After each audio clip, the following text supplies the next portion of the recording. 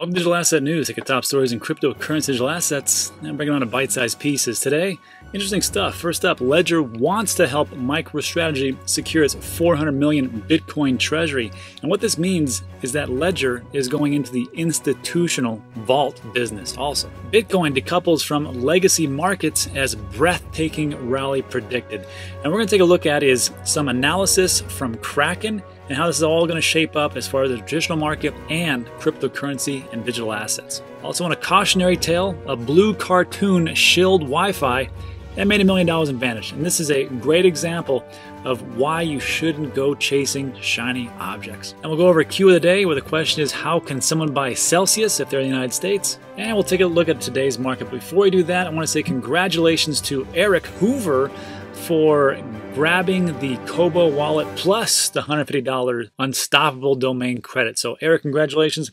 One of the reps from Unstoppable Domain is going to be reaching out to you to give you that credit and also to set up the delivery of your Kobo wallet. So, before we get into all the stories, let's take a look what's going on in the market. So, today it is October 13th, around 2 p.m. Texas time, looking good. So, what do we got today? Bitcoin tumbled a little bit, 11.4, but only down 1.3%, but still up 5% for the week.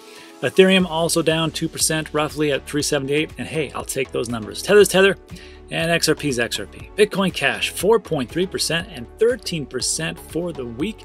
Looking good. Congratulations to all you Bitcoin Cash holders. Looks like you may be in the money.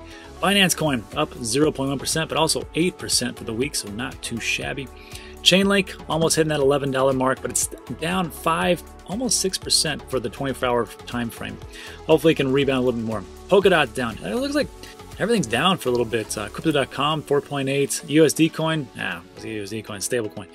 Uh, Monero's down, everything's down. OKB, Stellar, da, da, da, So this, not a great day. A little bit of red, but not too massive like we are used to in this space. So uh, we'll see how it rebounds. Let's uh, break into today's top stories. First up, Ledger wants to help MicroStrategy secure its 400 million Bitcoin treasury. So what's going on here? So Ledger is mostly known for its consumer-facing hardware wallets, but since last year, a number of enterprises have also begun to use Ledger Vault. According to the company's vice president of product, Jean-Michel Perron, I think I nailed that name.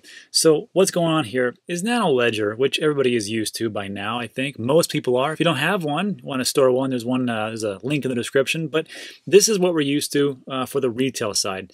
Nice little cold storage wallet, very small, almost like a data stick. And, uh, you know, I've got like four of these things uh, for all my different cryptocurrency, and it works great. But that's just for the retail side. But they also have another product called Ledger Vault, which I was not familiar with.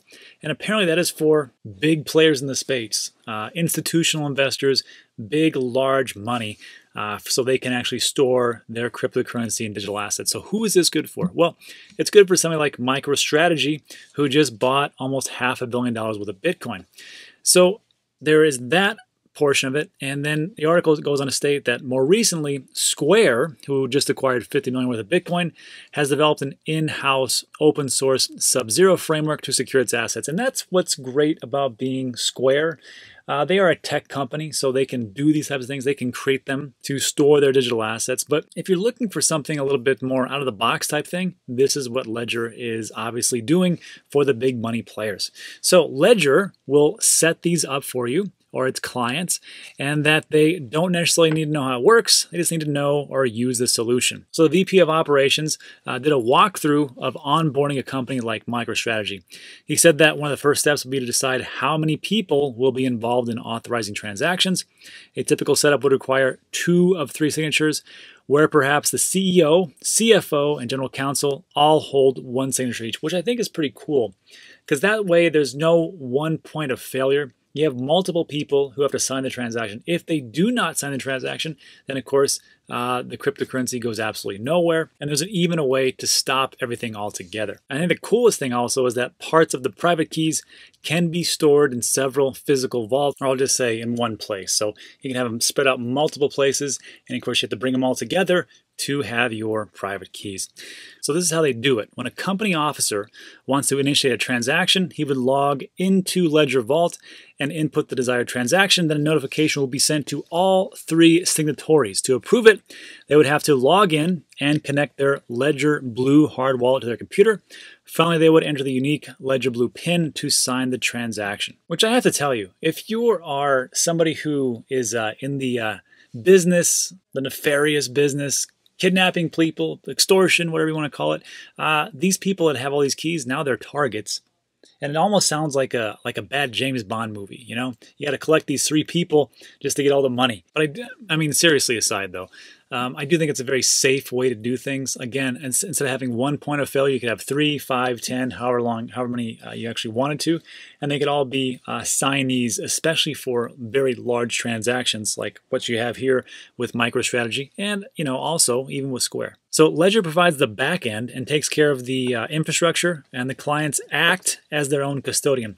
This may present a problem, as some companies may be required by law to use a regulated custodian. The VP says if you need a regulated custodian, you can always ask a regulated entity to become one of the signees in the transaction process. And this is actually a pretty good thing because you have to have some kind of custodian. I know people don't like regulation or for people to get involved, but in all honesty, uh, this is the problem this is one of the problems with cryptocurrency is that uh, it was in Canada. I think it was Quadriga, Quadriga CX, BX, something like that. One of those exchanges, it was the CEO or the owner had the only set of private keys kept in his vault or somewhere, and he took a trip to India and he died, allegedly. Um, so all the money that they had in this exchange just poof disappeared because that's uh, where they had it, which was just on one person, which is almost ridiculous if you think about. It. So in this type of thing in, in the U.S., they say, hey, you can't do it. I don't know about how it is in other countries, but in the U.S., you have to have a regulated custodian, somebody who can oversee the whole process. And it's not just one point of failure, just one person. Because can you imagine just uh, losing, like, uh, you know, MicroStrategy says, oh, you know what? We just misplaced the key. We uh, we had this card for our private keys and we just misplaced it or it got wet. Now we can't read the words. So you're going to need some high grade infrastructure uh, and this vault sounds like it could be uh, a good one. So the whole point here is that ledger is not just in the retail space. They are getting into the bigger players of the game. And i think it speaks volumes about where this industry where this space is actually going to.